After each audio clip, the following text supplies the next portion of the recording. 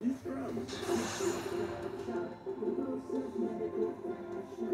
at 517 West Broadway springtime scrubs are.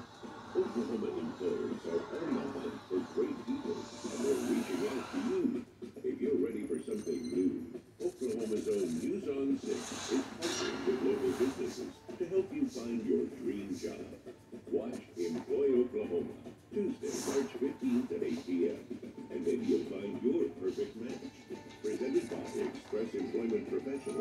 Professionals